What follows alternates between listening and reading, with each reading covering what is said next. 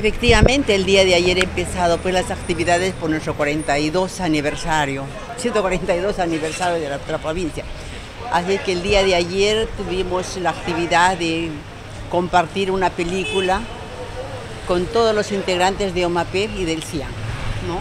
Ahí compartieron un momento de alegría, estaban felices, eso en el transcurso de la mañana y en la tarde ellos hicieron una exposición de todos los trabajos que vienen realizando, todas sus manualidades, ¿no? La verdad es que me hubiese gustado, pero el día domingo en la feria, sábado y domingo en la feria también se van a exponer todos los trabajos que ellos vienen realizando en el transcurso de estos, de estos meses. ¿Qué tipo de trabajos están haciendo?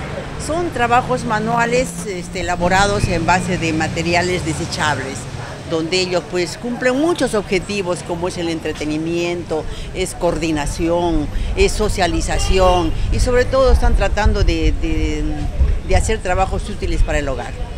Ahora, otras actividades más, de repente, porque sabemos de que todavía estas actividades son largas, ¿no? Hasta el día 11 de, mayo. Así es, dentro de las actividades que han asignado a mi, a mi área también tenemos el día 9, tenemos una charla el buen trato y atención a la persona con discapacidad. Se va a hacer a partir de las 10 de la mañana en la Casa de la Juventud.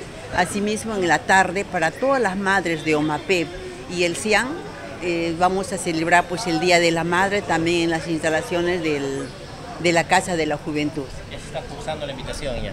Efectivamente. Asimismo, el día domingo y sábado, que es la feria, también estarán participando tanto en sus danzas, y, van a exponer todo lo que vienen elaborando pues en los talleres tanto del CIAN como MAPER.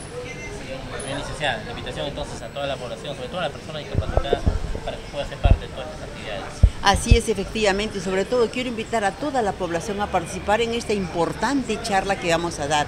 La ponente es la licenciada Pineda, que viene de OMAPER, para compartir con toda la población guaralina sobre el buen trato y atención a la persona con discapacidad, porque muchas oficinas, muchas instituciones públicas y privadas llega una persona con discapacidad y la persona que atienden al público se siente pues en dificultad de poderlas atender, ¿no? No saben cómo eh, atender a una persona invidente o una persona sordomuda. Esta sería la oportunidad de escuchar a nuestra ponente para que nos dé pautas cómo tratar, cómo tratar bien y hacerla sentir bien a las personas con discapacidad que llegan a diferentes lugares públicos para hacer requerimiento de algún servicio.